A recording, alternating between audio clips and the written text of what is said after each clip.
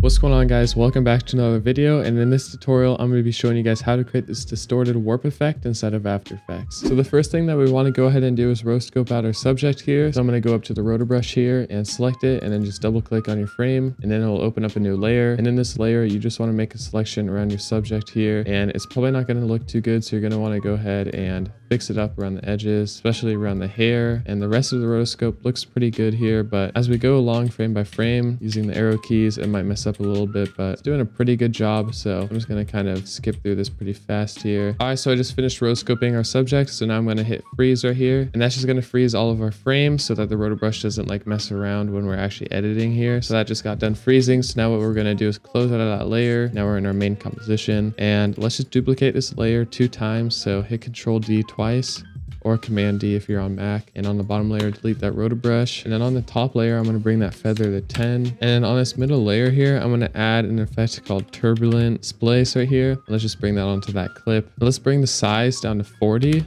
and the amount to zero.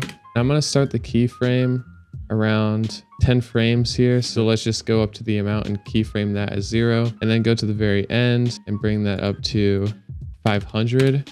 So now when we this back, you can see that it's being displaced in the background right there. But I wanted to like scale up so we can actually see more of the turbulent displace. So I'm to hit S on my keyboard and just hit a keyframe on the scale go to the end once again, and let's bring this up to like 300. now you can really see the effect. Another effect I like to add to this is twirl. So I'm just going to bring on this twirl to that same clip once again. And let's make the twirl radius 100. And let's just have that start at the same keyframes that I've been having it start at. Let's keep the angle at zero for the first keyframe. And then at the very end, let's just mess with this. That you can see it looks super weird, but you just want to make sure that that last keyframe is at the very end. So now you can see it's like twirling around. But we want to go ahead and fix this because I don't like how it just like immediately just starts spinning super fast and scaling up. So we're to actually easy ease these by selecting all of them and just hit F9 on your keyboard or you can right click it, keyframe assistance and easy ease them. And we're to start out on the top one here, the turbulent displace. Select those, go into the graph and make a graph that looks something like this. Just a super simple graph like that. And we're just to do that to all of them. Same graph like that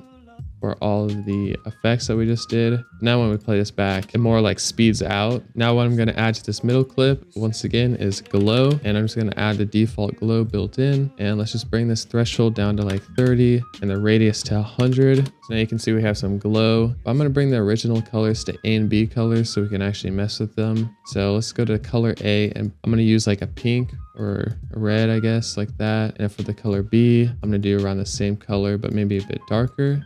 So like this. And if the glow isn't strong enough, just go to the glow threshold and bring that to a lower value like that. Now I just realized when it scales up, you can see the edge of the clip here. And I don't really want that to be shown in the video. So I'm going to go back into the scale properties here and go into that graph editor. And let's just mess with that graph until we get rid of that. So just bring in these up a little bit like this. That seems to solve our issue pretty well. And now it's a lot less noticeable. So that looks a lot better. And to kind of fix that a little bit more is we can add some motion blur. So I like to add radial blur. So let's just bring this onto that clip. Now you can see it's really hard to tell like if there's any edges or anything like that. Let's go into our keyframes once again. Hitting U brings up all the keyframes. So at the very start, let's bring this to zero and go to the end and bring that to 10.